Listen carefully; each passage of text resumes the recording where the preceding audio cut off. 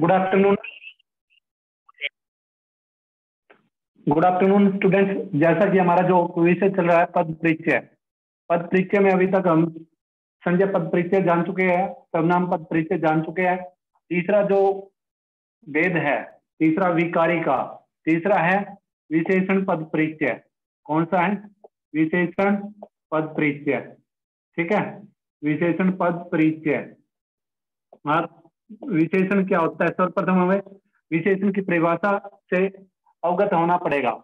विशेषण, जिन शब्दों से, क्या पता चले जो शब्द, संजय सब नाम की विशेषता का, के बारे में बताते हैं। जो शब्द किसके संदर्भ में बताए? संजय, यह सब नाम पदों की विशेषता के बारे में बताए या संजय, यह सब नाम शब्दों के की विशेषता को बताते हैं। ऐसे शब्दों को हम क्या कहते हैं? विशेषण शब्द कहते हैं। ऐसे शब्दों को क्या कहते हैं? विशेषण शब्द। अब उदाहरण के तौर पे, उदाहरण के तौर पे चले तो जैसे काला है, लाल है अच्छा है। काला है, लाल है अच्छा नीला है, बुरा है, पतला है, ठीक है? ये इस प्रकार के जो शब्द होते हैं, ये कहीं ना कहीं, या तो संजय शब्दों की विशेषता बताते हैं, ये सर्वनाम शब्दों की विशेषता बताते हैं, ठीक है? अब ये जो विशेषण है, ये विशेषण चार तरह का होता, छह प्रकार का होता है। कितने प्रकार का होता है? छह प्रकार का, ठीक है? छह प्रकार छह प्रकार का होता है। छह कौन कौन से होते हैं? अब देखिए, सर्वप्रथम आपका गुणवाचक विशेषण, गुणवाचक। दूसरा, गुणवाचक के अतिरिक्त संख्यावाचक संख्यावाचक, ठीक है? तीसरा, परिमाणवाचक परिमाण वाचक ठीक है? और चौथा आपका परिमाण के अतिरिक्त चौथा सार्वनामिक हो गया। कौन सा हो गया? सार्वनामिक विशेषण। पांचवा नामिक विशेषण। पांचवा क्या हो गया? नामिक विशेषण। नामिक विशेषण, ठीक है? और जो अंतिम है अंतिम है आपका क्रियार्थक विशेषण। अंतिम क्या है? क्रियार्थक विशेषण। क्रियार्थक विशेषण, ठीक है? ये छह वेद है विशेषण के। अभी तक हम चार वेद पढ़कर आए हैं, गुणवाचक, संख्यावाचक, परिमाणवाचक और सार्वनामिक लेकिन ये दो, जो वेद नामिक विशेषण और क्रियार्थक विशेषण, इनसे हम परिचित नहीं हुए। गुणवाचक विशेषण क्या होता है? गुणवाचक यानी कि जिन शब्दों से गुण, दोष रंग रूप, आकार, प्रकार, दशा, दिशा इत्यादि के संदर्भ में पता चलता है, उन्हें गुणवाचक विशेषण कहते हैं।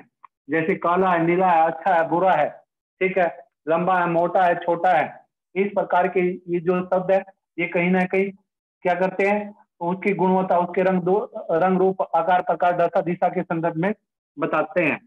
फिर संख्यावाचक। संख्यावाचक विशेषण क्या होता है? संख्यावाचक विशेषण क्या होता है? संख्यावाचक जिन विशेषण शब्दों द्वारा संजय सर्वनाम शब्दों की संख्या का पता चलता है, उसे हम क्या कहते हैं? संख्यावाचक विशेषण कहते हैं। दोबारा सुन लीजिएगा।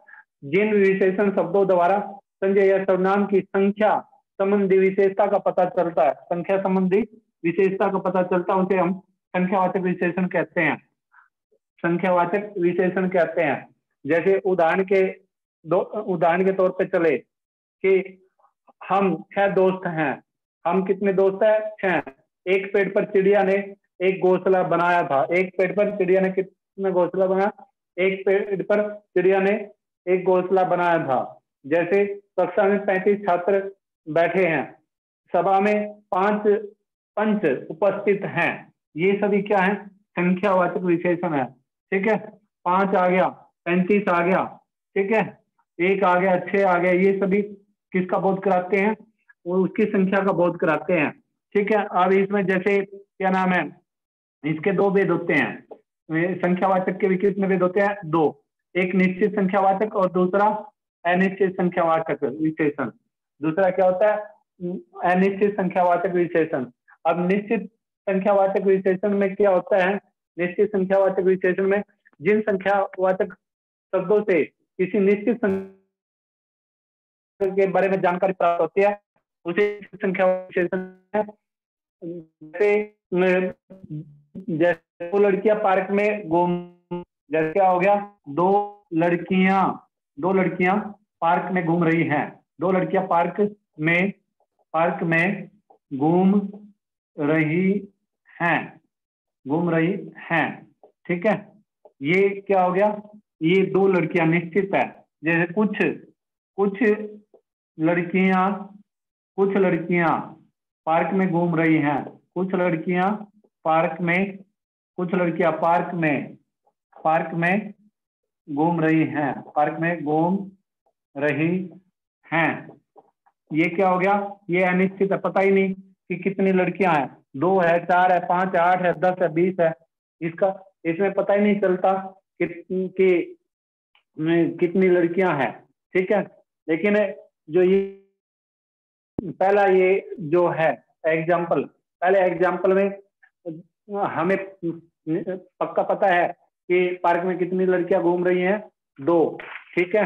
ऐसे ही दूसरे एग्ज़ाम्पल में हमें उसकी संख्या का पता ही नहीं चल रहा। जैसे कक्षा में दस विद्यार्थी बैठे हैं। कितने विद्यार्थी बैठे हैं? दस विद्यार्थी। अब इसमें हमें निश्चित पता है कि उस कोई भी कक्षा है, ठीक है, चाहे दसवीं है आठवीं है बारहवीं है, उसमें कितने विद्यार्थी बैठे हैं? दस।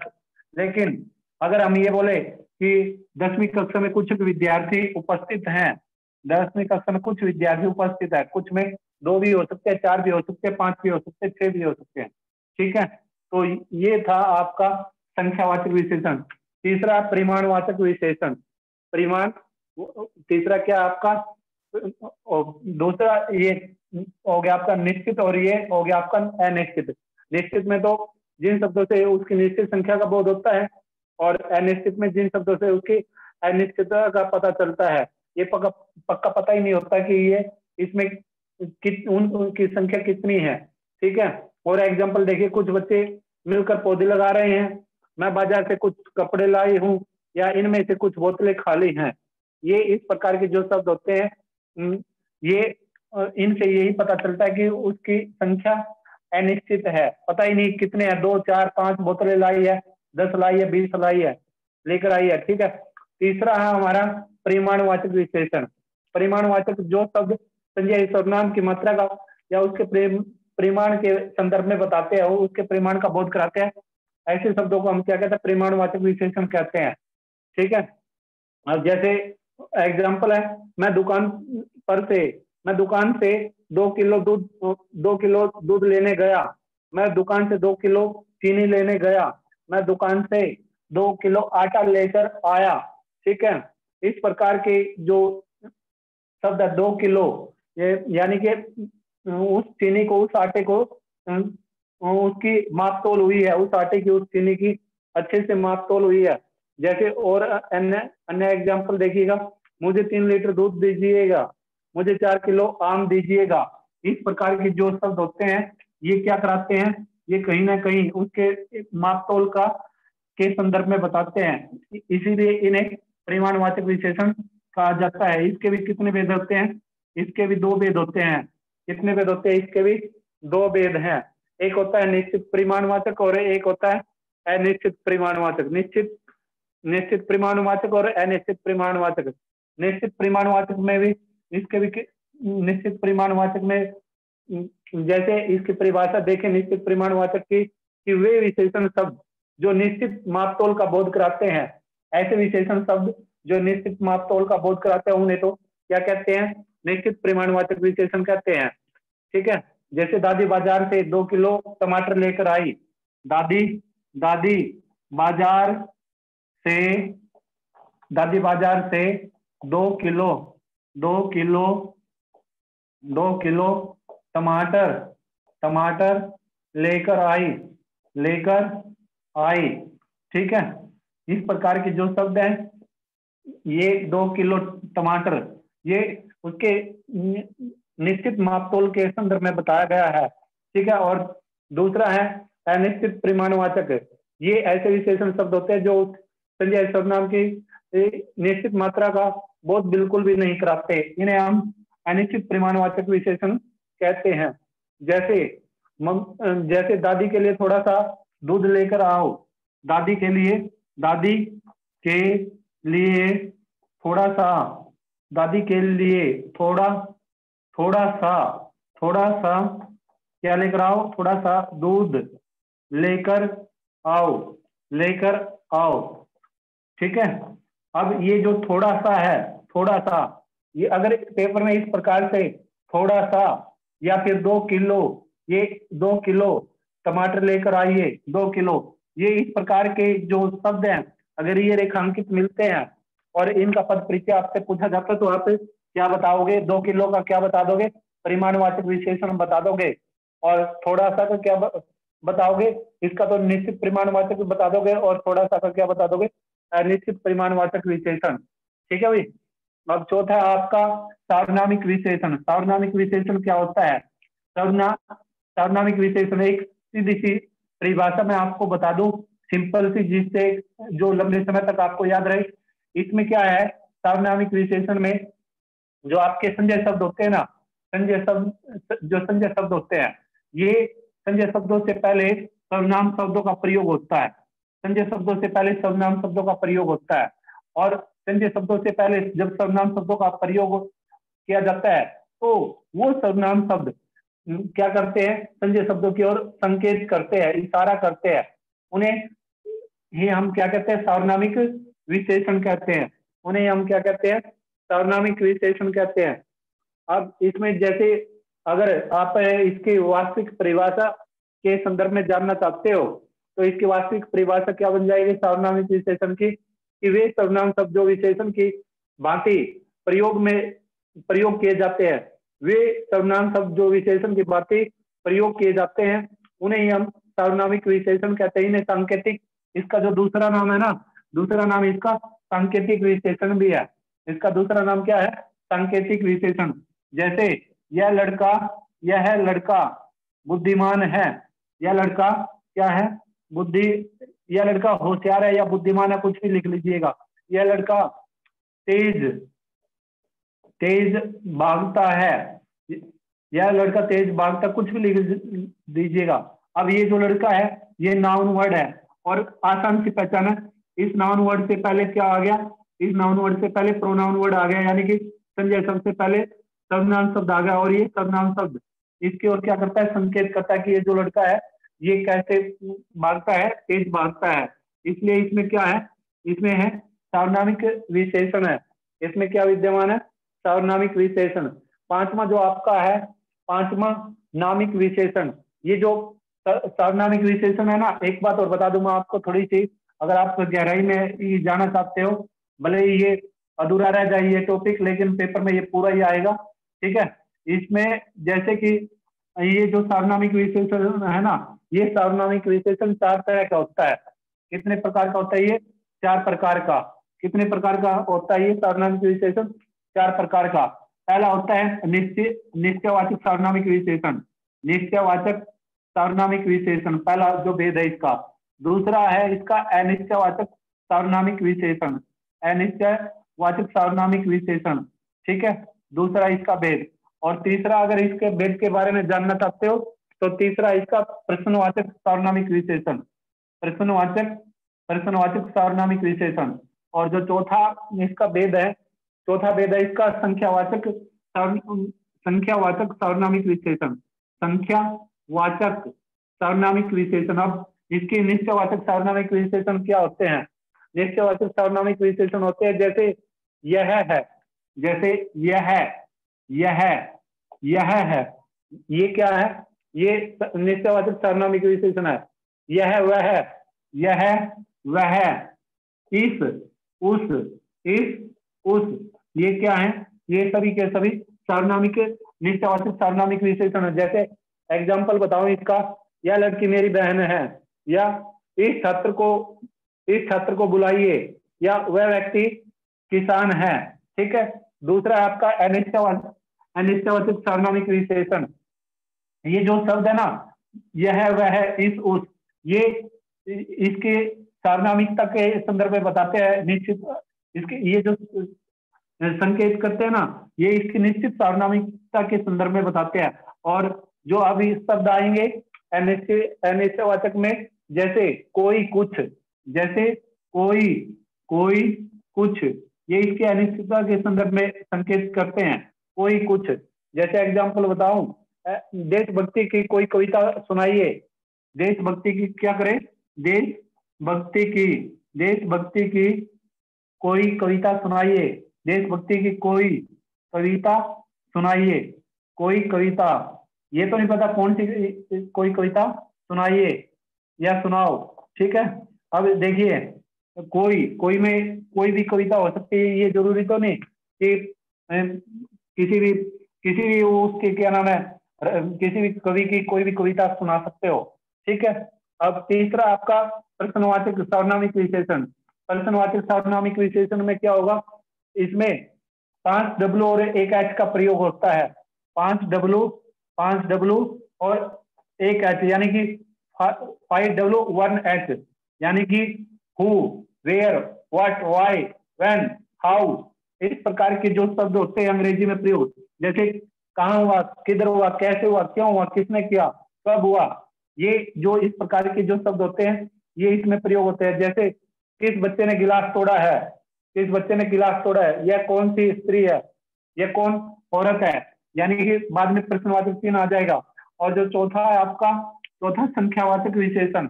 चौथा क्या है आपका? संख्यावाचक विशेषण। संख्यावाचक विशेषण में ऐसे शब्द होते हैं जो जिनसे उसकी संख्या के संदर्भ में पता चलता है। जैसे मेरा, मेरी मेरा मेरी, तुम्हारा तुम्हारी, हमारा हमारी, इसका, उसकी, सबकी। जैसे आज मेरे यार की शादी है। जैसे एग्ज़ाम्पल बताऊँ मैं। आज मेरे आज मेरे यार की शादी है। आज मेरे यार का जन्मदिन है। ठीक है? आज मेरे यार, आज मेरे यार, आज मेरे यार की, आज मेरे यार का जन्मदिन है। जन्मदिन है। ठीक है? जन्मदिन है। ठीक है भाई? तो मेरे, किसके? मेरे, इसमें तो मेरे जो शब्द है, मेरे शब्द है, ये उसके, ये क्या है? संख्या संख्या ये संबंध। मैंने आपको गलत बता दिया। संबंध आएगा ये। यहाँ पर क्या आएगा? चौथा इसका भेद है संबंध। संख्या मैंने आपको गलत बता दिया स्टार्टिंग में तो इसके लिए माफ़ी चाहूँगा। तो इसमें जो चौथा भेद है इसका संबंध। यहाँ पर संबंध प्रकट किया है मेरे। मेरे जो शब्द है, मेरा, मेरी, तुम्हारा, तुम्हारी, तुम्हारे। ये इस प्रकार के जो सब प्रयोग होंगे इसमें, ये क्या बताएँगे? इसके संबंध प्रकट करेंगे। ठीक है, कि ये, जो यार है, ये मेरा है। ठीक है? दूसरा एग्ज़ाम्पल यह मेरा पेन है। ये किसका पेन है? मेरा पेन है। तीसरा एग्ज़ाम्पल देखिएगा। यह है उसकी बहन है। यह किसकी बहन है? उसकी बहन है। इस प्रकार के जो शब्द होते हैं, ये क्या होते हैं? ये कहीं ना कहीं संबंध प्रकट करते हैं। ये चार वेद होते हैं सार्वनामिक विशेषण के। ठीक है? किसके हैं ये चार वेद सार्वनामिक विशेषण के। पांचवा, आप चलिए नामिक विशेषण। पांचवा जो वेद है, पांचवा वेद है, नामिक विशेषण। नामिक विशेषण किसे कहते हैं? नामिक विशेषण। नामिक विशेषण वो विशेषण होते हैं जब वो वाक्य में संज्ञा पद किसका काम करते हैं? संज्ञा का पद का काम करते हो। ऐसे विशेषण जो वाक्य में किसका काम करते हो? संज्ञा का काम करते हो। उन्हें हम नामिक विशेषण कहते हैं। उन्हें हम क्या कहते हैं? नामिक विशेषण। जैसे सीता का, गीता का, रोहन का, मोहन का अन्नू का, तन्नू का, मन्नू का, ठीक है? ये सभी के सभी क्या है? ये नामिक विशेषण है। जैसे एग्ज़ाम्पल के तौर पर बताऊँ, राहुल सीता का भाई है। राहुल राहुल, किसका भाई है? राहुल सीता का सीता का भाई है। राहुल सीता का भाई है भाई है। अब राहुल राहुल भी नाउन है और सीता भी नाउन है, ठीक है? तो इस प्रकार से ये इसमें एक दूसरे के साथ क्या करते हैं? संबंध प्रकट करते हैं। और ये क्या है? ये संज्ञा के रूप में प्रयोग होते हैं। ठीक है, छठा आपका है। एक और एग्जांपल अगर आपको बताऊँ इसी का, मान लीजिए, जैसे मोहन की किताब मेरे पास है। मोहन की किताब, मोहन की मोहन की किताब मेरे पास है। किताब किसके पास है? मोहन की किताब मेरे पास है। मेरे पास। मोहन की किताब मेरे पास है। ठीक है? मेरे पास है। अब ये जो नाउन है, और इधर भी ये नाउन वर्ड है। ठीक है? जो छठा है, छठा आपका क्रियार्थक विशेषण। क्रियार्थक विशेषण क्या होते हैं? जब क्रियापद किसका काम करते हो वाक्य में? विशेषण का काम करते हो। तो उसे हम क्या कहते हैं? उसे हम कहते हैं क्रियार्थक विशेषण कहते हैं उसे। उसे क्या कहते हैं? क्रियार्थक विशेषण। जैसे डूबते जहाज़ में डूबते जहाज़ से दूर हो जाओ। इससे दूर हो जाओ। डूबते हुए जहाज़ से जो जहाज़ डूब रहा है, डूबते जहाज़ से जहाज़ से दूर हो जाओ। दूर हो जाओ। ठीक है? दूर हो जाओ। अब ये जो डूबना है, ये क्रिया है और ये यहाँ पर किसका काम करती है? ये विशेषण का काम करती है। ठीक है? ये जो आपका, इसमें ये जो टॉपिक था यानी कि कौन सा? विशेषण से संबंधित। ये आपका समाप्त हुआ। अब इसमें से पेपर में कैसे आएगा? पेपर में एक दो एग्ज़ाम्पल देख लीजिएगा इसका। वो मैं आपको अभी बता देता हूँ। जैसे इसका है, मान लीजिए आप सिंपल सा एग्ज़ाम्पल बताऊँ। यह लड़की मेरी बहन है। यह लड़की यह लड़की मेरी मेरी बहन है। मेरी बहन है। ये वाक्य आपके आया पेपर में और जो रेखांकित है, रेखांकित यह लड़की मेरी बहन है, या यह लड़की यह लड़की रमेश की दूसरी बहन है। दूसरा भी एग्ज़ाम्पल देख लीजिएगा। अगर आप ये देखना चाहते हो, यह यह में तो क्या हो जाएगा? सार्वनामिक विशेषण हो जाएगा, सीधी सी बात है। अगर यह अंडरलाइन है, यह अंडरलाइन है तो ये क्या हो जाएगा? सार्वनामिक विशेषण। फिर ये स्त्रीलिंग है या पुलिंग है, एक वचन है या बहुवचन है, और ये वाक्य में किस रूप में प्रयोग होता है? ये आप इस प्रकार से इसके संदर्भ में बता दोगे। दूसरा एग्ज़ाम्पल देखिएगा। जैसे दूसरे एग्ज़ाम्पल में कुछ फल ले आइए। कुछ कुछ फल कुछ फल ले आइए ले आइए। कुछ फल ले आइए। अब इसमें जो रेखांकित पद है, क्या है? इसमें कुछ है। रेखांकित पद क्या है? इसमें कुछ। तो इस तरह से ये जो कुछ रेखांकित पद के रूप में आया है, ये क्या है? अनिश्चयवाचक अनिश्चयवाचक संख्यावाचक विशेषण है। अनिश्चयवाचक संख्यावाचक विशेषण है ये। क्या है? अनिश्चयवाचक संख्यावाचक विशेषण ठीक है? और ये जो कुछ शब्द है, कुछ पुलिंग है। क्या ये? पुलिंग। पुलिंग के रूप में है, एक वचन के रूप में है, एक वचन के रूप में। और एक वचन के अतिरिक्त ये क्या है? ये वाक्य में किस रूप में प्रयोग हुआ है? ये जो कुछ एक वचन के रूप में या बहुवचन के रूप में है? कुछ। कुछ कुछ फल ले आइए। कुछ फल क्या करे? ले आइए। यहाँ पर ये एक वचन ना होकर क्या जाएगा ये? बहुवचन के रूप में जाएगा। ठीक है? क्या जाएगा ये? बहुवचन के रूप में जाएगा और फल जो विशेष है, फल विशेष की ये विशेषता बताने का फल विशेषता की, ये जो फल है, ये फल विशेष है, इसकी विशेषता बताने का ये क्या करता है, काम करता है, ये चार बातें आप इसमें बता दोगे। ये चार बातें इसमें आप क्या कर दोगे, बता दोगे। अब जो चौथा इसमें है, क्रिया। क्रिया क्या है? अब क्रिया के कितने वेद होते हैं? कर्म के आधार पर क्रिया के कितने वेद हैं? और वैसे क्रिया के कितने वेद हैं? ठीक है? तो ये जानिएगा आप क्रिया। क्रिया किसे कहते हैं? यानी कि जिन शब्दों से किसी काम के होने या करने का पता चलता है, उसे क्या कहते हैं? क्रिया कहते हैं। जैसे उठना है, बैठना है, नहाना है, धोना है, जाना है ठीक है, ये सभी क्रिया, ये सब क्या है सभी की सभी क्रिया है। जैसे क्रिया के मूल रूप को क्या कहते हैं? धातु कहते हैं। क्रिया के मूल रूप को क्या कहा जाता है? धातु। जैसे जा, ठीक है, जा, पठ, लिख, ये इन शब्दों से ये क्या है? धातु है। ये क्रिया का मूल रूप होता है। ठीक है? अब ये जो क्रिया है, ये क्रिया दो रूप से बटी हुई है।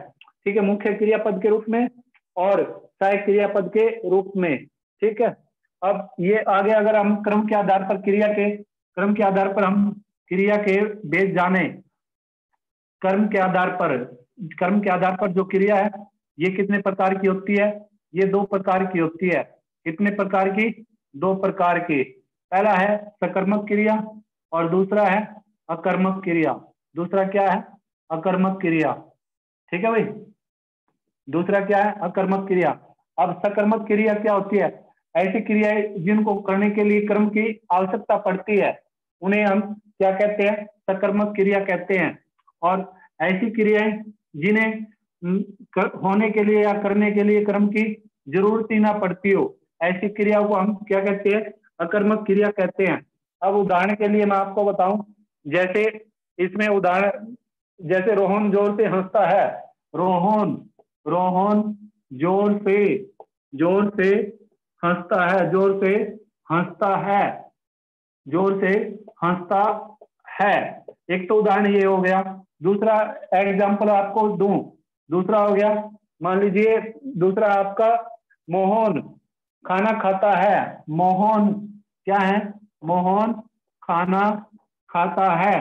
मोहन खाना मोहन खाना खाता है।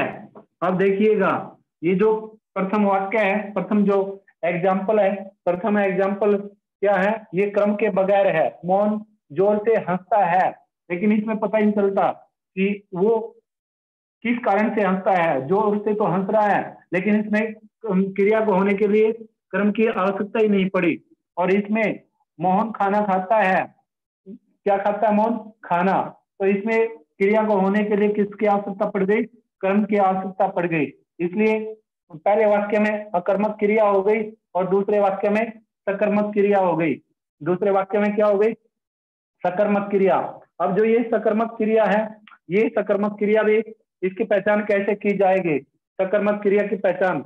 क्रिया से पहले, क्रिया से पहले क्या होगा? क्रिया से पहले क्या क्या शब्द? क्रिया से पहले क्या लगाओ? क्या, किसको? जो ये इस प्रकार के शब्द है, क्या, किसको? जो ये है क्या किसको, या क्या हो? किसे? या क्या हो? किसे?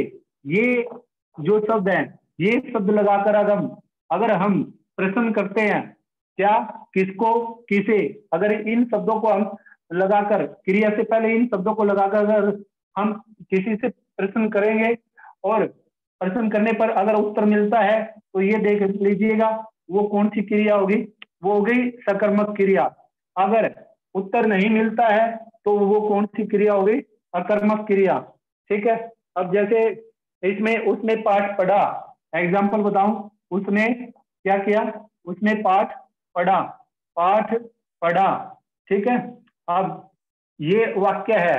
उसने पाठ पढ़ा, उसने क्या पढ़ा? उसने, अब मैंने, मान लीजिए प्रश्न ये लगा के सवाल किया कि उसने क्या पढ़ा? उसने क्या पढ़ा? क्या लगाकर मैंने सवाल किया? तो क्या हो गया? उत्तर मिल गया पाठ। उत्तर क्या मिल गया मुझे? कि उसने पाठ पढ़ा। तो इसमें वाक्य में कौन सी क्रिया होगी? इसमें होगी आपकी सकर्मक क्रिया। ठीक है? अब ये जो सकर्मक क्रिया है ना, ये सकर्मक क्रिया भी क्या होती है? दो तरह की होती है। दो तरह की। एक होती है एक सकर्मक क्रिया और एक होती है द्विकर्मक सकर्मक क्रिया। यानी कि एककर्मक जो एककर्मक सकर्मक क्रिया होती है, ये वो क्रियाएँ होती हैं जो जिनको करने के लिए सिर्फ़ एक ही क्रम की आवश्यकता होती है। उन्हें हम एकर्मक क्रिया कहते हैं। जैसे मैंने अनार खाया जैसे मैंने मैंने अनार मैंने अनार खाया अनार खाया। मैंने क्या खाया? अनार खाया। अब ये वाक्य है। मैंने अनार खाया। इस वाक्य की जो क्रिया है, वो खाया है। इस वाक्य में जो क्रिया है, वो क्या है? खाया। और इसमें ये जो खाया है, ये एक क्रम लिए हुए है। ये कितने क्रम लिए हुए है? ये जो खाना क्रिया है इसको होने के लिए सिर्फ़ एक ही क्रम की आवश्यकता पड़ी है। और वो क्या है? अनार। वो क्या है? अनार की आवश्यकता पड़ी है।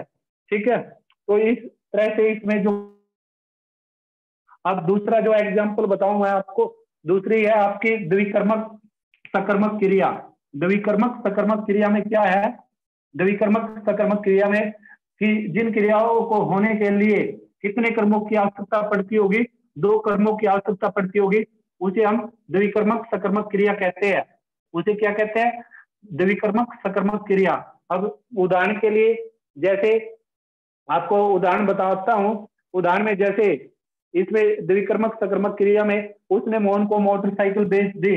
उसने उसने मोहन को मोहन को motorcycle motorcycle motorcycle motorcycle motorcycle बेच दी ठीक है? उसने क्या बेच दी मोहन को? मोटरसाइकिल बेच दे क्या बेच दी उसने मोहन को? मोटरसाइकिल बेच दे ठीक है? अब इसमें देखिए, अब इसमें क्या है? इस वाक्य में मोटरसाइकिल जो है मोटरसाइकिल इस वाक्य में ये जो मोटरसाइकिल है, ये मोटरसाइकिल जो शब्द है, अब इसमें देखिए ये बेच दे, ये बेचना क्रिया है और इस क्रिया को होने के लिए कितने कर्मों की आवश्यकता पड़ी? दो की, एक हो गया मोहन और दूसरा हो गया मोटरसाइकिल दूसरा क्या हो गया? मोटरसाइकिल ठीक है? अब आगे चलेंगे जो हमारी दूसरी जो ये है, क्या नाम है दूसरा है इसमें अकर्मक क्रिया अकर्मक क्रिया के संदर्भ में जाने तो अकर्मक क्या है? ऐसी क्रिया जिन, इनको होने के लिए, जिनको करने के लिए क्या होता है? कर्म की आवश्यकता नहीं पड़ती, उन्हें हम अकर्मक क्रियाएँ कहते हैं। उन्हें क्या कहते हैं? अकर्मक क्रियाएँ कहते हैं। ये भी क्या होती है? इनको क्रम की अपेक्षा नहीं होती, ठीक है? ये भी दो तरह की होती है। ये जो अकर्मक क्रिया है, ये भी कितने तरह की होती है? दो तरह की होती है। दो तरह की। ठीक है? एक पूर्ण अकर्मक क्रिया, पूर्ण अकर्मक क्रिया, और दूसरी होती है अपूर्ण अकर्मक क्रिया। दूसरी क्या होती है? अपूर्ण अकर्मक क्रिया। दूसरी क्या है? अपूर्ण अकर्मक क्रिया। अब ये जो पूर्ण अकर्मक क्रिया है, ये पूर्ण अकर्मक क्रिया क्या होती है? पूर्ण अकर्मक क्रियाओं में क्या होता है? अपना अर्थ प्रकट करने की जो अक्षमता होती है, वो पूरी होती है। अपना अर्थ जो ये प्रकट करने की अक्षमता होती है ऐसी क्रियाओं में, ऐसी क्रियाओं में अपना अर्थ प्रकट करने की पूरी अक्षमता होती है। उन्हें हम पूर्णाकर्मक क्रियाएँ कहते हैं और इन अपूर्णाकर्मक क्रियाएँ क्या होती है? जिनको, जिनमें अपना अर्थ प्रकट करने की अक्षमता पूरी नहीं होती, उन्हें हम अपूर्ण अकर्मक क्रिया कहते हैं। अब इसमें अगर एग्ज़ाम्पल कर एग्ज़ाम्पल के तौर पे चले अपूर्ण कर्मक क्रिया में, जैसे खाना है, पीना है, सोना है, उठना है, बैठना है, नहाना है, धोना है गाना है, ये सभी की सभी क्रिया है, ये पूर्ण कर्मक क्रियाएँ हैं, अपने आप में ये पूरा प्रकट करते हैं। और अपूर्ण कर्मक क्रियाएँ क्या है? अपूर्ण जैसे लगना है, उगना है, निकलना है। जैसे वह मुझे मूर्ख लगने लगा, जैसे वह तो ईमानदार निकला। इस प्रकार की जो क्रियाएँ होती है, वो अपूर्ण कर्मक क्रियाएँ होती है। और अब आगे है कुछ जो क्रियाएँ ऐसी भी होती है वाक्य में कुछ ऐसी स्थिति होती है, ऐसी स्थिति भी, ऐसी स्थिति में क्रिया सकर्मक भी मानी जाती है और ऐसी स्थिति में क्रिया सकर्मक कब मानी जाती है? जब क्रियाओं के साथ क्रम बिल्कुल भी नहीं होता, क्रियाओं के साथ जब क्रम बिल्कुल भी नहीं होता और जब क्रम बिल्कुल भी नहीं होगा क्रिया के साथ तो उस समय ऐसी स्थिति में, ऐसी स्थिति में जो क्रिया है, वो क्रिया क्या मानी जाएगी? सकर्मक मानी जाएगी। क्यों मानी जाएगी? जैसे अब एग्ज़ाम्पल के तौर पे बताता हूँ, जैसे वह खाता है, वह खाता है, वह क्या करता है? खाता है खाता है, वह पीता है, वह पीता है, वह पीता है, ठीक है? अब ये जो खाना है, ये जो पीना है, ये अपने आप में पूरा अर्थ प्रकट करती है, इसलिए ये इन वाक्यों में कौन सी क्रिया है? इन वाक्यों में सकर्मक क्रिया है। कौन सी क्रिया विद्यमान है इनमें? सकर्मक क्रिया। अब आगे चलिएगा आप। आगे आपका क्या नाम है? ये तो था क्रम के आधार पर। अब रचना या व्युत्पत्ति के आधार पर या बनावट के आधार पर जो क्रियाएँ होती है, वो क्रिया कितने प्रकार की होती है? सात प्रकार की होती है। कितने प्रकार की होती है क्रिया? सात प्रकार की। रचना या बनावट के आधार पर। रचना रचना के आधार पर। रचना के आधार पर। ठीक है? रचना के आधार पर जो क्रिया है, वो कितने प्रकार की होती है?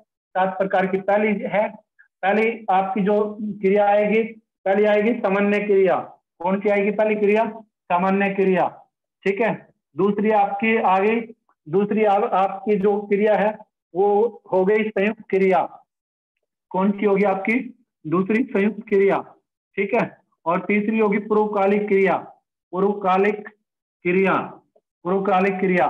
चौथी होगी आपकी प्रेरणार्थक क्रिया। चौथी क्या होगी? प्रेरणार्थक क्रिया, ठीक है? पांचवी होगी आपकी क्रीदंत क्रिया क्रीदंत क्रिया, ठीक है? और जो छठी है, छठी आपकी होगी, क्या नाम है? रंजक क्रिया। रंजक क्रिया, ठीक है? रंजक क्रिया। और साथ में आपकी होगी, नाम धातु क्रिया। नाम धातु क्रिया। साथ में क्या होगी? नाम धातु क्रिया। अब ये जो रंजक है, क्या नाम धातु क्रिया है? इस नाम धातु को दूसरा नाम है नामिक क्रिया। क्या नाम है इसका? नामिक। और ये जो रंजक है, रंजक रंजक को का मतलब क्या होता है? रंग भरना। रंग भरने का जो काम करती है, यानी कि बल देने का काम करते हैं, इसको सहायक क्रिया भी कहते हैं। इसे क्या कहते हैं? सहायक क्रिया भी कहते हैं। अब सामान्य क्रिया क्या है? सामान्य क्रिया। सामान्य क्रिया, जब वाक्य में एक क्रिया का प्रयोग होता है तो उसे हम सामान्य क्रिया कहते हैं। जैसे जैसे वह गया, वह आया, मैं सोया, ठीक है, तुम रोए, आप आए, आप सोए। इस प्रकार के से वाक्य में जब एक ही क्रिया का प्रयोग होगा तो उसे सामान्य क्रिया कहते हैं। संयुक्त क्रिया क्या होती है? वाक्य में जब दो क्रियाएँ मिलकर काम करते हैं तो उन्हें संयुक्त क्रिया कहते हैं। जैसे उसने हिरण को बचा लिया, उसने हिरण को बचा लिया, एक बचाना और एक लेना, एक बचाना और एक लेना, दो क्रियाएँ होगी। दो क्रियाएँ मिलकर काम करती है। जैसे, मैंने एक खाना, एक खा और एक लिया। ये दो क्रिया मिलकर काम करती है। ठीक है? तीसरा आपका है, क्या है?